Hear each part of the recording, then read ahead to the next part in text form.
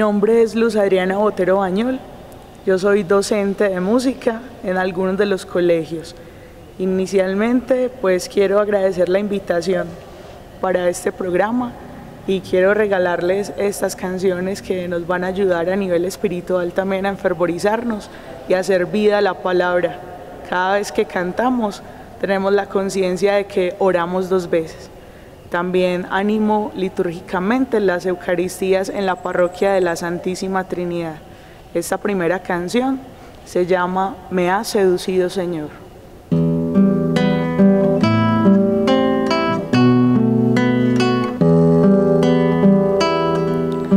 Señor, no soy nada llamado. Has pasado por mi puerta y bien lo sabes que soy pobre y soy débil. ¿Qué quieres que haga por ti? Me has seducido, Señor, con tu mirada. Hablado al corazón y me has querido. Es imposible conocerte y no amarte. Es imposible amarte y no seguirte.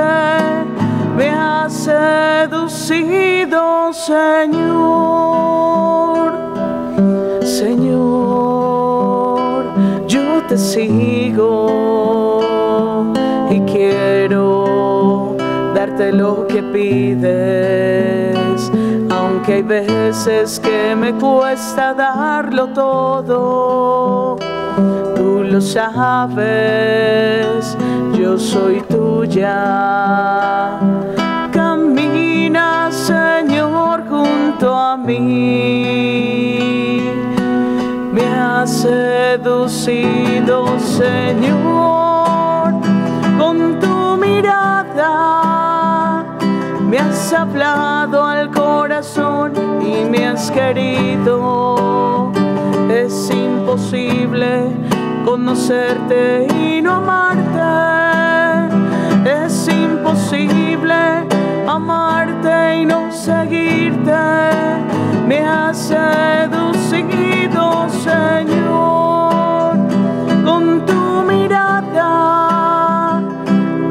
hablado al corazón y me has querido. Es imposible conocerte y no amarte. Es imposible amarte y no seguirte. Me has seducido, Señor.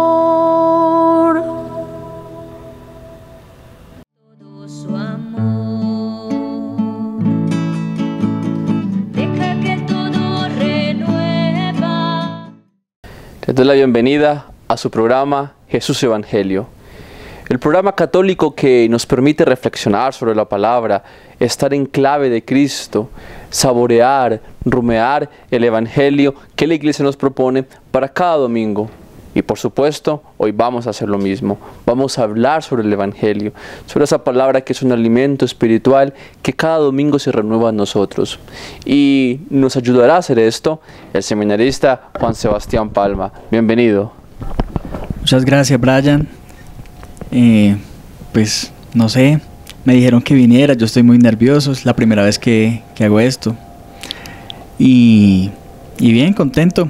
Eh, pues quiero comentarles algo de mi experiencia, por qué, vine acá, por qué estoy en el seminario.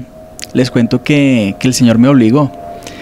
Yo, yo no quería, y sí, algunos dirán, no, Dios no obliga, pero, pero después de que les cuente la historia, sabrán que, que Dios me obligó. Sebastián ya, ya nos dejó con la duda, entonces no le demos más tregua al asunto y a ver, coméntenos un poco entonces sobre su experiencia vocacional. Yo sé que a todos nos enriquece, a ustedes, a los que nos ven, muchos tal vez sienten el llamado, sienten la inquietud, ese, esa llama que va creciendo, pero tienen muchas dudas y escuchar testimonios de otras personas enriquecen mucho ese llamado. Y ahora, los que ya estamos respondiendo al Señor, estamos seguros que nos convencemos que... eh, acrecentamos nuestra vocación porque hay tantos llamados como personas en el seminario. Entonces, bueno, Sebastián, coméntenos un poco sobre esa experiencia, sobre esa obligación que el Señor le, eh, le ha dado a usted para que usted esté aquí respondiéndole. Todo empezó un día que me puse de, chismoso a escuchar unas, a unas señoras, a unas viejitas, y con mucho cariño les digo. Ellas estaban hablando y, me puse a chismosear qué estaban diciendo, porque yo escuché que ellas estaban diciendo, ay, que Dios les había hablado. Entonces, pues me causó curiosidad y me quedé allá como poniendo cuidado y se callaron. Y yo, ay, yo con esa, con esa cosa. Entonces después cogí a una de ellas y, y le pregunté, oiga, disculpe señora, eh, yo cuando pasé, yo escuché que ustedes estaban diciendo que Dios les había hablado. Entonces quisiera saber cómo, cómo es eso. Y ellas pues me dijeron, esa señora me dijo, lo que pasa es que nosotros necesitábamos algo y nosotros oramos, oramos y abrimos la palabra de Dios y esa parte justo lo que, lo que salió era lo que Dios nos, nos, nos dijo y era justo lo que necesitábamos. Yo por dentro pensé, ah, es- esta señora está loca. Yo le dije muchas gracias y, y me fui. Un día que no tenía nada que hacer en la casa, uno a veces también, por chismoso, uno se mete en problemas. Por no hacer nada, por, por estar desocupado también. Entonces, un día que no estaba haciendo nada en la casa, yo dije, ah, pues que hijo de madre, hagamos lo mismo. Y cogí la Biblia, me puse a orar. Ese día oré como nunca en mi vida había orado. Tenía más o menos unos 21 años. Y yo le pedí a Dios, Dios, hábleme, hábleme, dígame algo. Y bueno, oré por muchísimo tiempo, oré media hora, ¿sí? Yo lo cronometré. Para mí eso era mucho, media hora pues bastante. Mm, cojo la Biblia, la abro y, lo primero que leo dice así, desde el vientre de tu madre ya te había yo escogido para que fuera mi profeta. Yo, ay, jue madre, qué susto. Y seguí leyendo. No, Señor, yo soy muy joven, no sé hablar. No digas que eres muy joven, irás donde yo te mande, dirás lo que yo te diga. Y yo, ay, no, esta vaina no funcionó. Esto es mentira. Entonces, bueno, dejé esa cosa así. Sin embargo, eso me quedó en mi corazón. Y como a los 20 días, yo volví a hacer lo mismo, pero yo dije, no, ¿será que me faltó más oración? ¿Será que, que faltó algo? Entonces ese día oré 45 minutos. Hmm, Llegó un momento en que yo ya no sabía por qué más orar. Yo empecé a orar por los niños del África. Eh, sí, en serio. Y yo dije, pues como yo soy tan inteligente, entonces yo dije, no, ¿será que mi Biblia estaba ya destinada como a salir en esa parte? Entonces yo cojo la Biblia de mi mamá. Entonces cogí la Biblia de mi mamá, era otra Biblia. Y la abro en la misma parte. O sea, la abro y se los juro, vea, esto es verdad sale en la misma parte. Y para que una Biblia que tenga como mil páginas o más de mil páginas salga en la misma parte, eso es, eso es algo raro. Yo dije, ah, jue madre, esto va en serio. Y yo le comenté a un sacerdote, yo le comenté eso, de ese texto bíblico Jeremías. Y él me dijo, ay, eso es un texto vocacional, tal vez Dios lo está llamando para, para ser sacerdote. Hmm, Yo no volví a esa iglesia. Yo me alejé, yo no quería, yo tenía novia, yo trabajaba pues me iba muy bien. Y yo dejé eso así. En esa época tenía 21 años. Yo seguí pues con la, con la novia que tenía, después cambié de novia, después me conseguí otra. Eh, en el trabajo cada vez me fue mejor. A lo último era instructor del SENA, instructor virtual de, de sistemas. Y bueno, me iba muy bien. Yo me olvidé de, de las cosas, pues, de ese sentir vocacional, de esa llamada que Dios me hacía. Y una vez, con la novia, con la última novia que tuve, fuimos a, a una vigilia en la renovación carismática de Ibagué. Fuimos a esa vigilia, eh, esa vez había, iban a traer un padre que, que muy especial. Bueno, llegamos tarde, Era como de 7 de la noche a 6 de la mañana. Llegamos como a las 9 de la noche. Cosas raras llegando tarde. Y, y bueno, en la madrugada empezó, llegó un momento en que mi corazón empezó a latir así duro, duro. Pero era algo bonito, era algo como de alegría. Yo no sabía qué. Y, y llega un momento de oración fuerte. Y el padre empieza a decir, eh, en este momento acá el Señor está sanando a una persona, ta, ta, ta. Y después dice, acá hay una pareja de novios que llevan mucho tiempo de novios. Nosotros llevamos seis años. Los dos saben que él tiene vocación. El Señor le está recordando que del vientre de su madre ya lo había llamado. Yo, ay, qué susto tan hijo de machica. Mi novia me golpeaba con el codo. Y yo, no, los dos sabíamos que era, que era, pues sí, con nosotros ese mensaje. A partir de, a partir de esa vigilia, eso fue horrible para mí, porque yo iba a alguna iglesia, yo salía de misa y se me acercaba alguna persona que yo no conocía, una señora, un viejito, y me decía, joven, mm, yo siento que tú deberías entrar al seminario. Yo siento que usted debería ser sacerdote. Y yo, no, qué pereza. A veces lo decían enfrente de mi novia y no, pues qué pena. Entonces yo le dije a Dios, vea Dios, ¿sabe qué? Usted no me mande mensajes con otra gente, yo quiero que usted me hable directamente, que, que me, que me diga claro qué es lo que quiere de mí. Yo iba a ir a un congreso en Bucaramanga de la Misericordia eh, con, un, con un grupo de la Casa de la Misericordia. Eso es pues un grupo de laicos. Bueno, yo iba a ir por allá y efectivamente fui. Fue muy chistoso porque eso era un coliseo, eran unas gradas. Yo me hice en la parte de arriba. Yo apenas llegué por la noche y me senté. Unas señoras estaban repartiendo unos papeles mm, solamente las mujeres. Y una se acercó y me lo, fue a entregar y la otra le gritó, no, para él no, son solamente para las mujeres. Y ella dijo, deje que lo reciba. Yo recibí el papel normal. Lo leo, perdón por lo que va a decir. Si no se puede, ponen el pito. pi. Entonces yo leo y lo primero que leo, ingresa a la vida religiosa. Yo le dije, Señor, no me joda. Hermano, acaba de llegar y ya con esas, yo dije, no. Entonces yo le dije a Dios, ve a Dios, yo no puedo, yo no puedo ser sacerdote porque a mí me gustan las mujeres, yo tengo muchos pecados. Si, si lo mío es ser sacerdote, yo quisiera ser un sacerdote santo, bueno, alegre, y yo no soy, yo no soy así, yo no puedo. Al otro día predicó un obispo por allá de Centroamérica. Y este, este obispo todo sencillo se bajó de la tarima, le preguntó a un sacerdote, padre, ¿usted dejaría entrar al seminario a una persona adicta al sexo, a una persona que, que se la pase así, tomando, con varias mujeres, una vida desordenada? ¿Usted dejaría entrar al seminario una persona así, con tantos escándalos que ha tenido la iglesia? Y el padre, no, por supuesto que no. Entonces el obispo le dijo, ah, un aplauso para el padre. Entonces ah, todos lo aplaudieron. Padre, otra pregunta. ¿Usted dejaría entrar al seminario una persona cómplice de asesinato que quisiera seguir en las mismas? No, por supuesto que no. Ah, otro aplauso. Cuando se callaron los aplausos, el obispo le dijo, muy bien, padre, si fuera por usted, se habría quedado por fuera de la iglesia de San Agustín y San Pablo. Y empieza la predicación de ese obispo. Entonces ya Dios, con esa predicación, me quitó la bobada de que yo no lo podía servir por mis pecados, por, sí, por mis gustos. Ah, Yo, no, Dios mío, ¿yo qué hago? Como yo soy tan terco, entonces yo le dije, listo, Dios, la última. Si usted hace esto, ya lo acepto y entro al seminario y hago lo que usted quiera. Entonces yo le dije, yo estaba en la parte de arriba, yo le dije, Dios, yo quiero que usted me hable a través de esa señora. Yo se la señalé, todos estábamos mirando para el frente.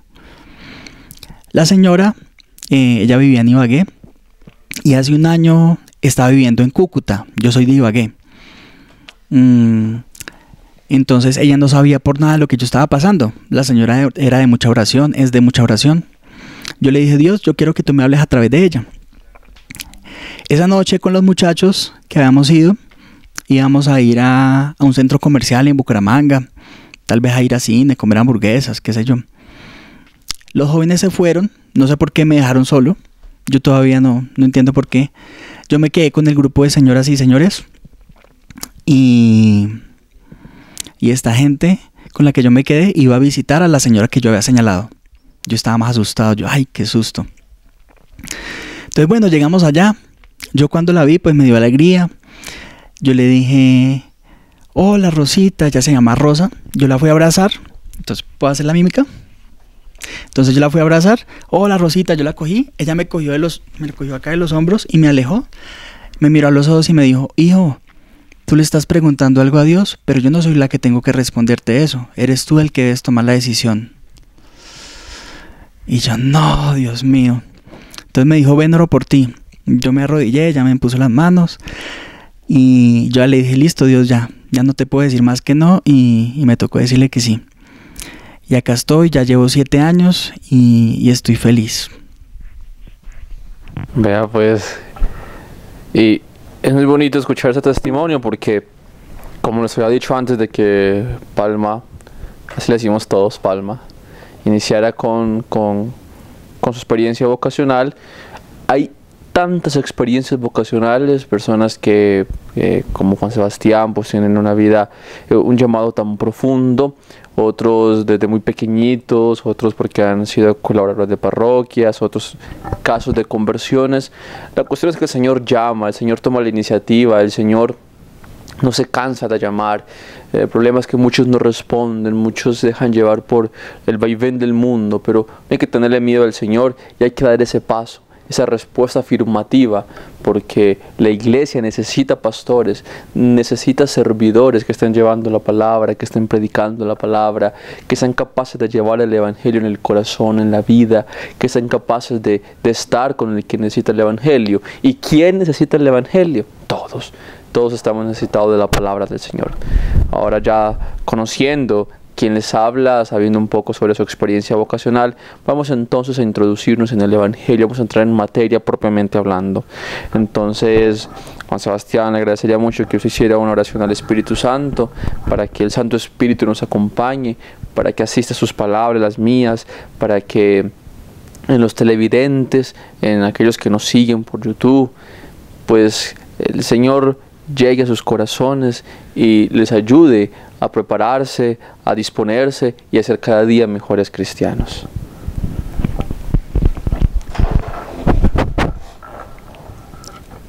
Señor Jesús, muchas gracias porque yo sé que estás acá. Yo sé que, que estás con cada una de las personas que nos están viendo. Te pido, te pedimos Dios que, que envíes ese amor sobre nosotros, esa sabiduría, que envíes ese Espíritu Santo, que envíes el amor sobre cada uno de nosotros, para que nos hagas entender tu palabra, para que lo que tú nos quieras decir sea pues manifestado, sea tuyo, que nosotros no, no nos inventemos nada, que este sea el mensaje que, que tú nos quieras dar, Dios. Espíritu Santo, ven, ven sobre nosotros, ilumínanos, haznos entender tu palabra. Ven Espíritu de Dios. Y si tú quieres hacer alguna obra en estas personas que nos están viendo, te pido Espíritu Santo que, que las bendigas, que seas tú haciendo lo que más sabes hacer, que es bendecir, que es amar. Gracias Espíritu de Dios porque sé que nos oyes, nos escuchas, porque sé que estás acá. Háblanos, háblanos en este día, Dios. Dinos lo que quieras. Amén. Procedemos ahorita a la lectura del Evangelio, pero antes de realizarlo, le agradecería que nos compartiera la cita bíblica para que los televidentes puedan buscarla. El Evangelio es de San Marcos, capítulo 12, versículos del 38 al 44. Marcos, capítulo 12, versículos 38 al 44. Dice, decía también en su instrucción, guardaos de los escribas que gustan pasear con amplio ropaje, ser saludados en las plazas, ocupar los primeros asientos en las sinagogas y los primeros puestos en los banquetes, y que devoran la hacienda de las viudas, socapa de largas oraciones, estos tendrán una sentencia más rigurosa. Jesús se sentó frente al arca del tesoro y miraba cómo echaba la gente monedas en el arca del tesoro. Muchos ricos echaban mucho. Llegó también una viuda pobre y echó dos moneditas, o sea, una cuarta parte de las. Entonces, llamando a sus discípulos, les dijo, Les digo de verdad que esta viuda pobre ha echado más que todos los que echan en el arca del tesoro, pues todos han echado de los que les sobraba. Esta en cambio ha echado de lo que necesitaba todo cuanto poseía, todo lo que tenía para vivir. Palabra del Señor. Gloria a ti, Señor Jesús.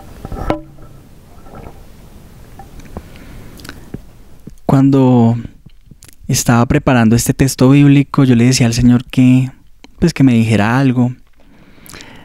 Y, y efectivamente, y es algo duro. Y, y, a veces la palabra de Dios tiene, tiene eso que a veces nos dice cosas muy lindas y a veces nos dicen cosas que, que de pronto no nos gustan. Eh, pues tal vez a mí no, no me gusta porque alguna vez lo he hecho. De pronto Dios sabe cómo, cómo soy y en un futuro lo vaya a hacer. Y el versículo que me llamó la atención, que más me tocó, fue el versículo 40, que dice, y que devoraban la hacienda de las viudas, socapa de largas oraciones. Esa parte. Él les estaba hablando, pues decía de los escribas, fariseos, que se mostraban. Y, y esta parte que habla sobre que le quitan la platica a las viudas eh, por orar. Y, a veces a uno como seminarista, supongo que como sacerdote le podrá pasar que uno va ah, qué chévere ir donde esta señora porque esta señora le da plata a uno. Qué, qué bueno. Entonces, y, y, me ha pasado, les, les confieso que, que, a veces he caído en eso. Hay de pronto alguna familia especial y uno hace oración y, la gente le, pues, le reconoce, le da algo y, y a veces será, me cuestiono, ¿será que yo lo hago por amor o será que, que lo hago por, pues por interés? Entonces, a mí la palabra de Dios me está diciendo que, que deje de ser interesado, que haga las cosas por amor. Entonces, pues eso es como muy, muy duro, me, a mí me tocó mucho la palabra. No sé a ustedes, pues a mí me dice eso. Y yo los invito seguramente ustedes serán muy generosos y, y no sé, que hagan como un ensayo. ¿Será que ese sacerdote que, que a veces tú le ayudas, cuando ese sacerdote va a tu casa a orar, mmm, ¿qué tal si, si no le das ese día nada? ¿Será que él vuelve? Será cuestionante eso, ¿no? Mm, ¿Será que el sacerdote sí lo hace por amor? Entonces, pues a veces nosotros mal, mal, acostumbramos a las personas. Esto, esto de, de seguir a Cristo, es un, esto es, esto uno lo tiene que hacer gratis, por amor, no por plata. Y a veces eh, el Papa Francisco dijo, ah, el demonio se mete por los bolsillos. Entonces hay veces que ustedes con la, con la buena fe, con amor, le dan a uno pero uno se malacostumbra. Uno de pronto pierde el rumbo. Entonces, si conoces a un sacerdote así, a una persona así, que lo haga por interés, ora por él. Y, y aprovecho para decir que oren por mí. Porque uno se puede volver un, un cura platero, un cura que, que, haga esas cosas por plata y, y yo le pido a Dios pues que no permita que, que eso me llegue a pasar y que a nuestros compañeros tampoco, tampoco nos vaya a pasar. Juan Sebastián, y a mí también me llama mucho la atención eh, la segunda parte. Podemos decir que este evangelio está compuesto como de dos partes. Pero está la de la, eh, esta, esta de, de la mujer pobre que, que da todo lo que tiene. El evangelio nos permite entrever que ella hace más porque da de lo que tiene, en cambio el otro da de lo que le sobra, el rico. Pero si somos rebeldes con el Evangelio, a mi juicio, ambos están haciendo muchísimo. Claro que en el caso de la mujer pobre, pues hay que reconocerle ese esfuerzo. Pero es que si el rico tiene mucho, pues tiene que dar entre lo mucho que tiene.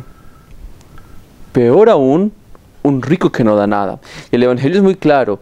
Y este rico ha dado mucho, no dio poco. Pero es que si tiene mucho, pues tiene que dar de lo mucho que tiene. El pobre de lo poco que tiene. Para mí la cuestión no radica meramente en cantidades. Claro, vuelvo a lo que introduje. Es cierto, la pobre, la viuda, que tenía muy poco, pues ha dado demasiado. Eh, pasa mucho, José Sebastián puede dar fe de esto y muchos vocacionados, tal vez muchos sacerdotes, muchos misioneros laicos, cuando vamos a estas casas, la- las familias de su pobreza matan la gallina, la única que tienen para alimentarnos. Y claro, claro que están haciendo, dándolo todo y no les duele. Y vamos, tal vez, nos, nos corresponden casas de familias adineradas y nos dan pues unos banquetes. Pero es que tienen mucho, dan de lo mucho que tienen. La cuestión para mí es estar en dar. ¿Cuánto estamos dando? Esa es la pregunta sobre la que versa nuestra, nuestra, nuestra vocación, nuestra vida, nuestro llamado cristiano. ¿Qué estamos dando? El problema es cuando yo doy jactándome. Entonces, como soy rico, ah, pues no, no, no, no. no. la, intención no es esa. Pero me parece peor el que está acumule y acumule riquezas. Además que tanta riqueza nos hace desconfiados. Ven que es un fenómeno que muy a menudo ocurre. Entonces tengo muchas cosas. Estoy muy desconfiado porque, uh, se me perdió una. Es que no, y pasa en todo. la riqueza nos hace desconfiado. En cambio, la gente que vive en la humildad, desprendida, pues vive, vive más, más tranquilo, más confiado, más libre, porque tanta opulencia nos hace presos, presos de estar bien, de estar en la apariencia.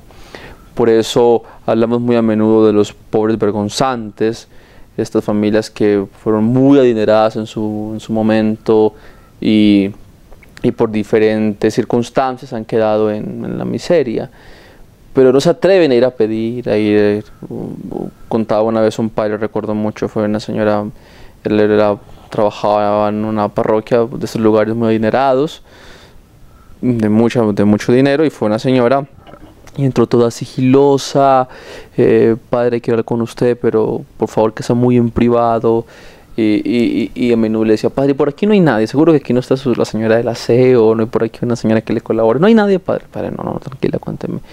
Dijo, padre, es que necesito un mercado, estamos en la ruina, no, no tenemos ni para la comida, una familia muy adinerada, los pobres vergonzantes, los que no son capaces de pedir, pero están ahí, ¿sí? Entonces la cuestión está en eso, en dar, en brindarnos, en otorgarnos, en, en, en desgastarnos por la causa del Evangelio, como lo hizo el Señor.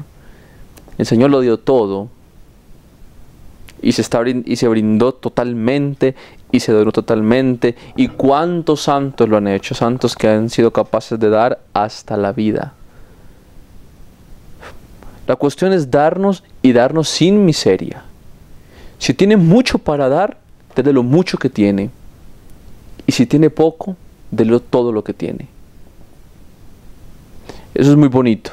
Eh, Este estar entregándonos, primereando, como dice el Papa, tomando la iniciativa. Porque ocurre lo siguiente, hay personas que tienen muchos dones y muchas virtudes. ¿Y qué tienen para darnos? Pues todo eso que tienen. Ya sacámonos un poco del, del ámbito del, del dinero. Hay otros, o habemos otros, que tenemos pocas virtudes, tal vez, pocos dones, pocos carismas, y tenemos que dar de lo poco que tenemos.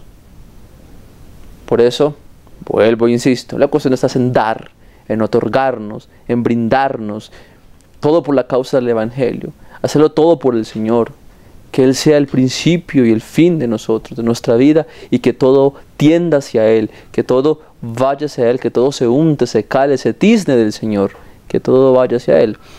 Eh, claro, por eso yo dije, siendo rebeldes con el Evangelio, eh, ese, eh, ese dar es dar desde la posición que tenemos. Si mi posición es esta, teniendo muchas virtudes, pues doy de lo mucho que tengo. Se me ocurre, y, y vuelvo a ser rebelde con el Evangelio, hay una parte en la que el Señor dice que hay de aquellos que quieren ocupar los primeros puestos. No, hay que ocupar siempre el último puesto. Para mí no, para mí hay que ocupar siempre el puesto que es. Si usted es bueno para cantar, y su puesto es el primero porque tiene que estar cantando, ¿cómo se va a ir para el último donde nadie lo va a ver? Otra cosa es que usted quiere ocupar el primero para que lo aplaudan. No. Pero usted ocupa el puesto que le corresponde. Y si en su puesto hay mucho para dar, pues de lo que tiene. Y si tiene muy poco, de todo eso que tiene. Pensemos en ese joven rico que el, que Señor le habla y no es capaz de dejarlo todo. Era muy rico y no, dejó- y no fue capaz de dar nada. Este rico el Evangelio está dando. Y se nos ha agotado el tiempo ya, Palma. Teníamos otras cosas preparadas porque Palma además tiene unos métodos de evangelización muy, muy bonitos. No son nuevos. San Juan Bosco ya utilizaba formas eh, para llegarle a los jóvenes, magia, bueno, trucos. Eh, Palma sabe mucho de esto. Pero bueno, pues el tiempo es muy corto y, y- pero con lo que hablamos y la experiencia vocacional de Palma y el mensaje que nos envió, que nos compartió, yo sé que ya nos enriquece mucho ustedes, a mí, a todos los que nos ven y los que nos verán. Entonces Palma, muchísimas gracias, Dios lo bendiga, oren por las vocaciones, oren por los que tienen la inquietud vocacional y pídenle mucho al Señor que hagan lo que hizo con Palma, que les insista hasta más no poder. El Señor lo hace. El problema es que hay gente de oídos sordos que no, se detienen a escuchar la palabra del Señor. Mil y mil gracias, Palma. Bueno, muchas gracias. Y todos estos años yo he venido reflexionando por qué el Señor hizo eso conmigo. Mm, y pues he llegado como a la conclusión de que Él hace esas cosas como con las personas más rebeldes, más, más pecadoras, mm, con los, sí, menos buenos. Hay personas muy buenas que, que el Señor, sí, los llama de una forma pues normal. A veces con uno eh, que es tan terco, él, él utiliza esos métodos. Que Dios los bendiga. Muchísimas gracias pues por escuchar mi testimonio. Es la primera vez que pues que lo digo así en, en televisión. Entonces, qué nervios. Oren por, oren por todos nosotros. Muchas gracias.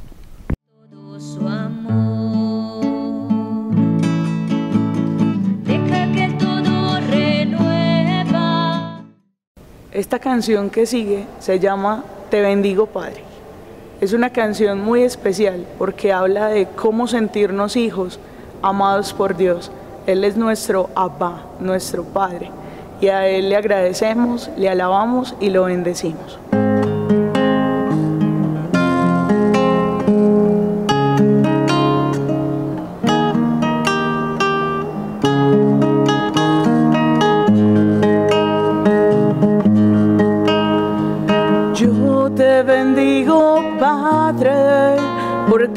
Vida está oculta con Cristo en ti, porque todo mi ser vive sumergido en tu corazón.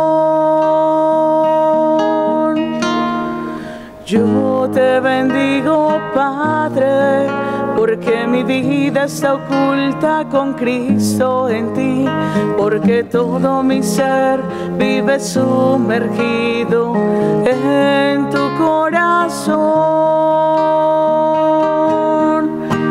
Porque cada suspiro de mi respirar clama Abba Padre, porque cada latido de mi corazón clama Abba Padre, porque cada suspiro de mi respirar clama Abba Padre,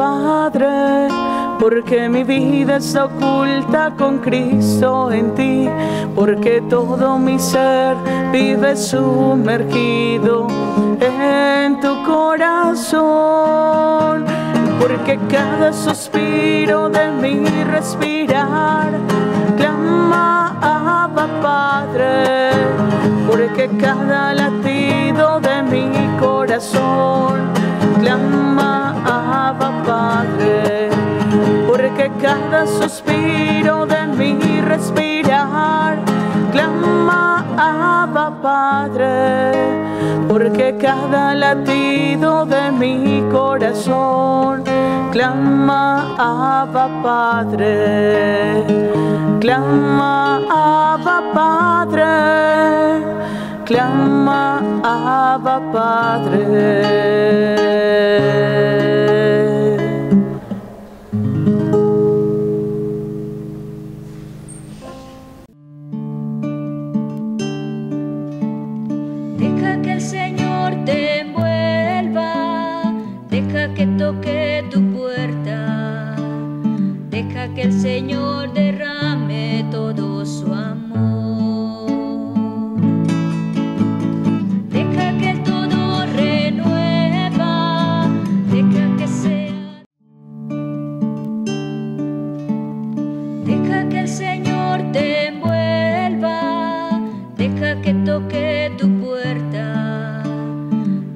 El Señor